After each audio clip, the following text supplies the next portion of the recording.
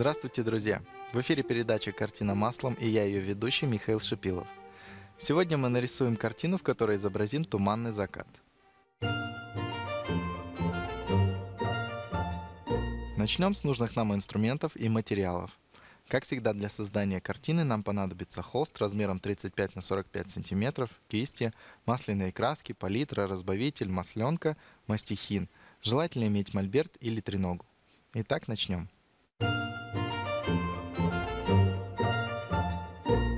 Первым делом мы нанесли разбавитель на основу. Это нужно для того, чтобы грунт размягчился и впитал в себя последующие слои красок. После этого мы наносим белила, и по этой подготовленной форме мы уже сможем нанести подмалевок.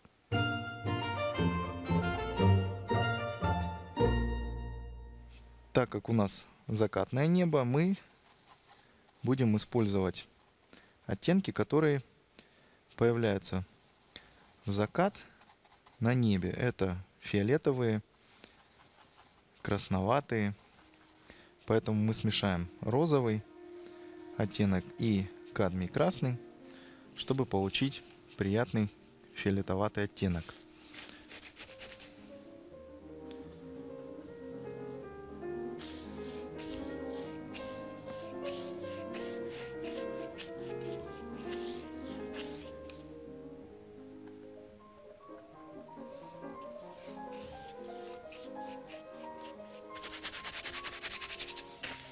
Всегда, сверху небо немного темнее. Ближе к линии горизонта небо чуть-чуть высветляется. Поэтому в верхней части холста мы будем использовать более темные, насыщенные оттенки, нюансы тона и цвета. А ближе к линии горизонта мы будем использовать уже более простую краску, более светлую.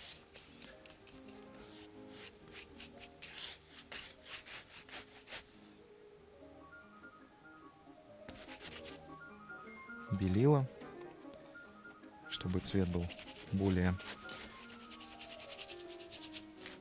более размытым, более простым, легким.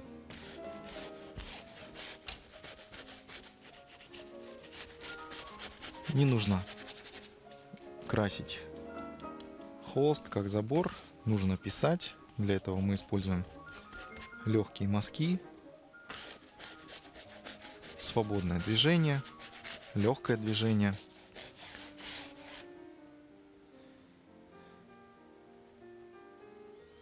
Можем добавить небольшое количество оранжевого цвета. Вот в том месте, где у нас слегка будет через тучки проглядывать солнце. Делаем замес голубой ФЦ и белил.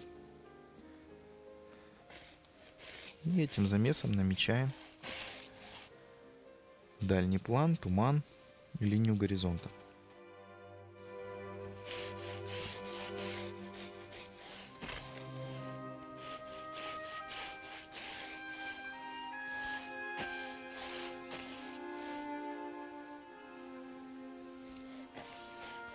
Так как на дальнем плане у нас туман, то он будет распространяться не только на небо, но и на землю, поэтому дальний план Земли он также слегка гаснет в тумане, становится холодным.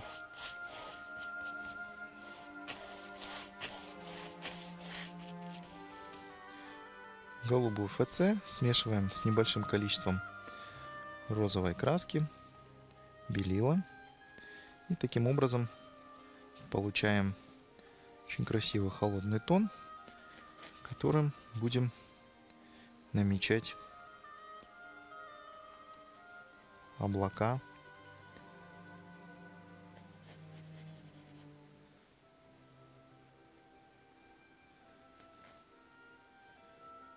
Чуть больше розового.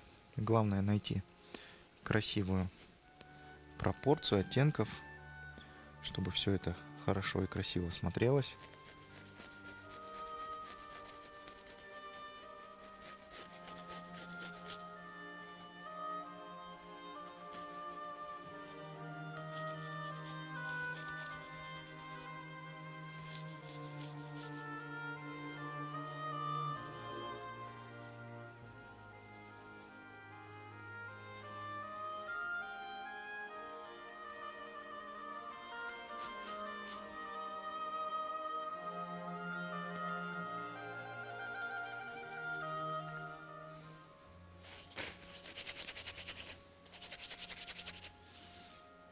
Смесью голубой ФЦ и белил мы создаем силуэт деревьев, деревьев дальнего плана.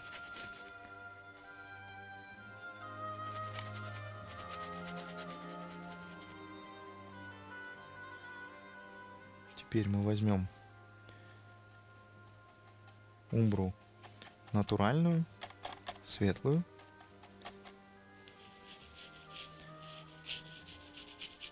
И добавим ее на передний план.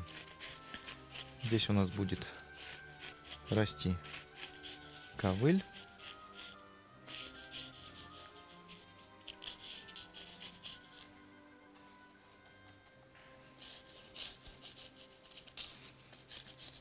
К нижнему краю холста умбра должна быть более плотной, темной, насыщенной. И ближе к дальнему краю мы будем добавлять белила, чтобы трава постепенно перешла в холодный голубоватый тон тумана и дальнего плана.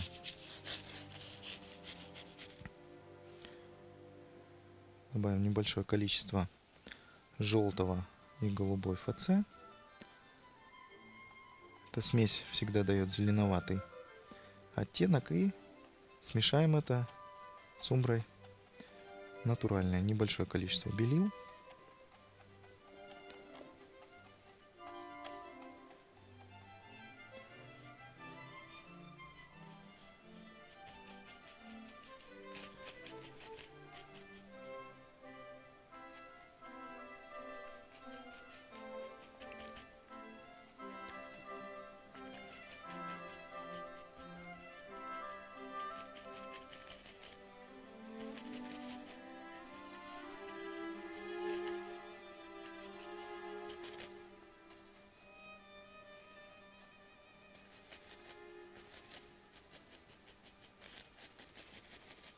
короткими вертикальными движениями мы имитируем рост травы, рыхлость травы.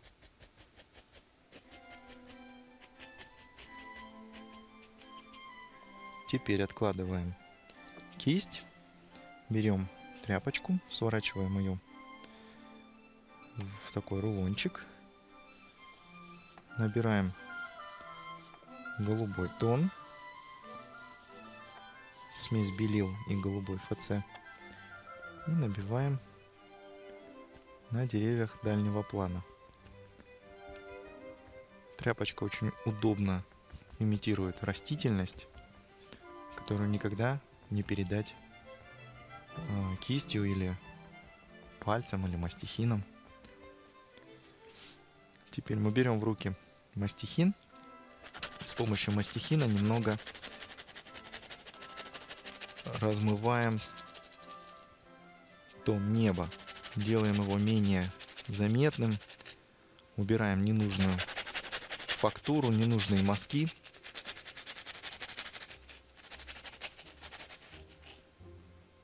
Нужно сделать так, чтобы небо слегка отличалось от тех деревьев, которые мы сейчас сделали.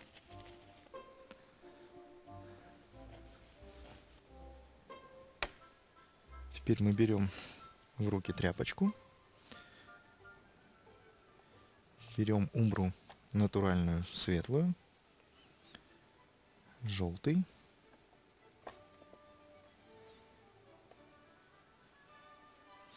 И голубую ФЦ.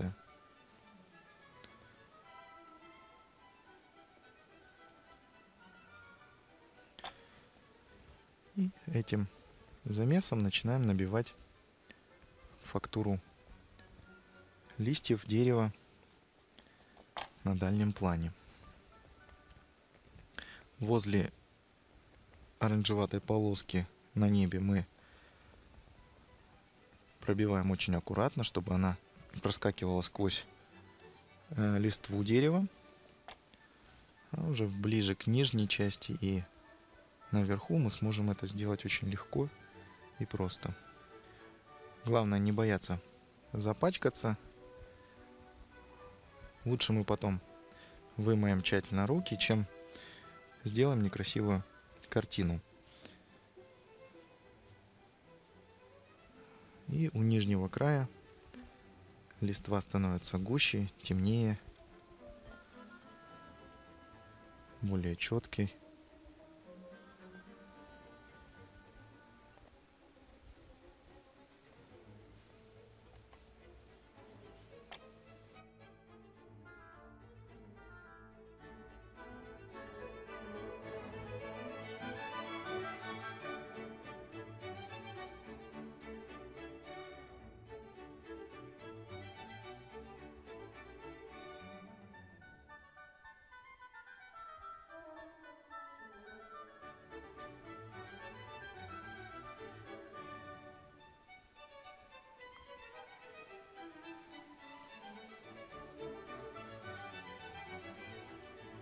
Точно так же нижняя часть будет чуть темнее.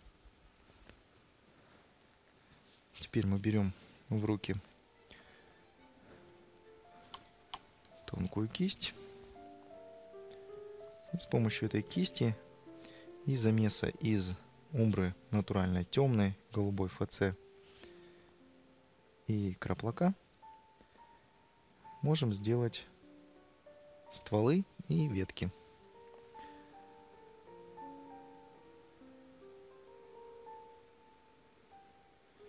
Все время намешиваем новый тон.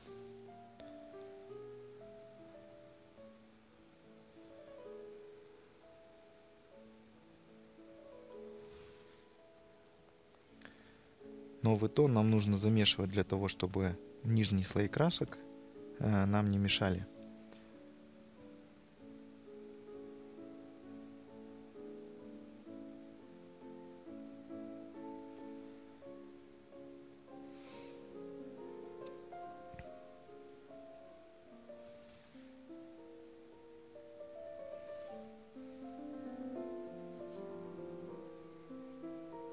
Можно слегка подкручивать кисть, чтобы линии получались более тонкими.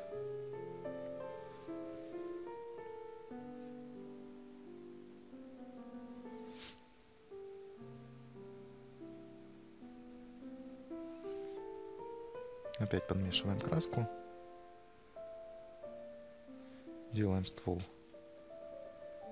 толще.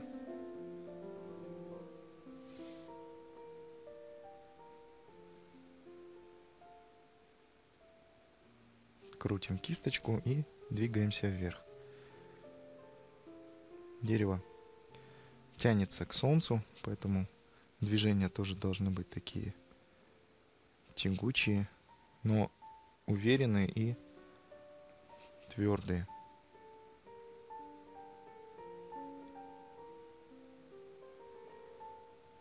Аккуратно следим за тем, как меняются ветки, чем ветка ниже к земле, тем она толще, плотнее. И, соответственно, самые кончики ветки, ее самые дальние от ствола участки становятся более более нежными, более тонкими –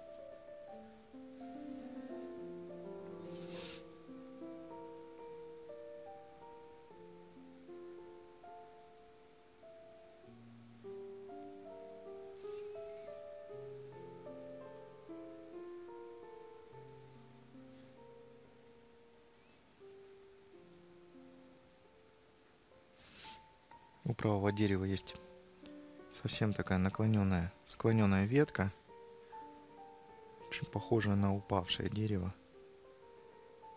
Все время будем подкручивать кисточку, чтобы получить такую кривую дрожащую линию. Этой ветке тяжело приходится, нужно бороться за свою жизнь, поэтому она такая изогнутая. И все веточки у нее тоже кривые, неровные.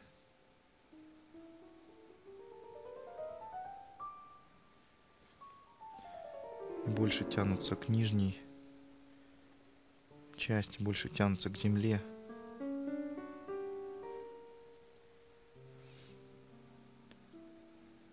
Верхние веточки вроде как поднимаются, но тут же тянутся вниз. Постоянно идет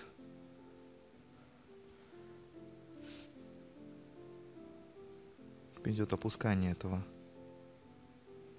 ствола, этой ветки.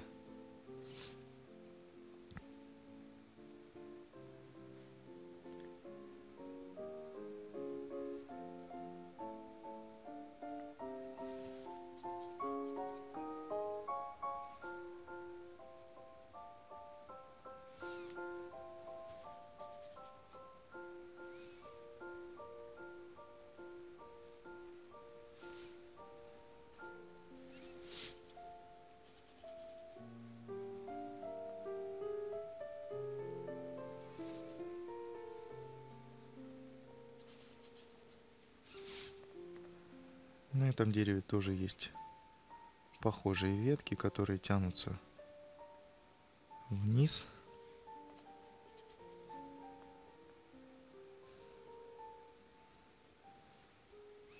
Холодным тоном голубой ФЦ набиваем основание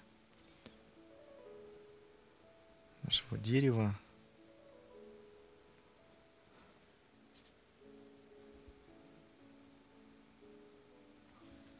То же самое делаем наверху.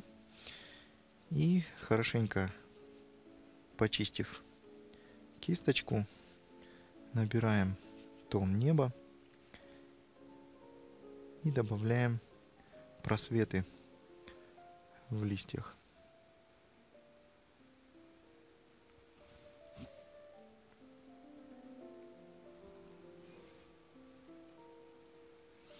Это тоже нужно делать не везде хорошенько продумывать те участки, где вы хотите видеть просветы. Если их будет слишком много, дерево будет выглядеть старым, неестественным, облетевшим.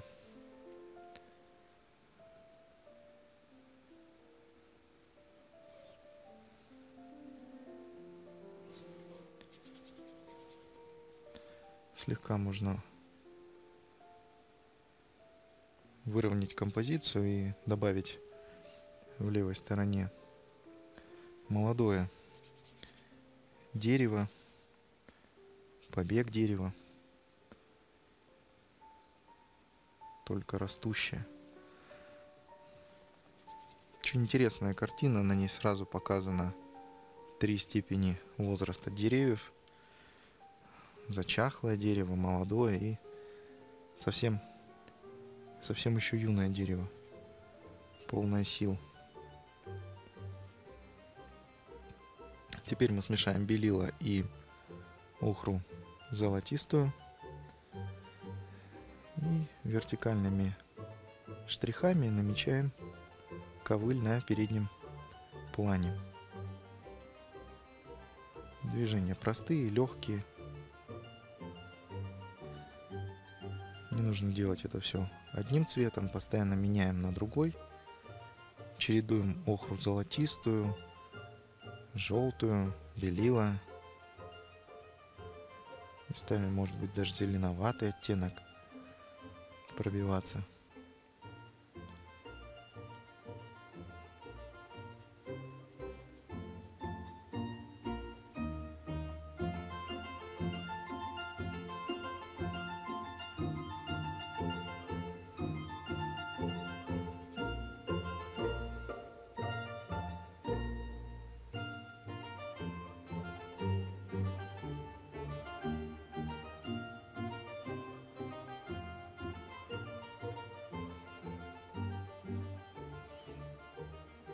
Все время чередуем светлые, темные мазки.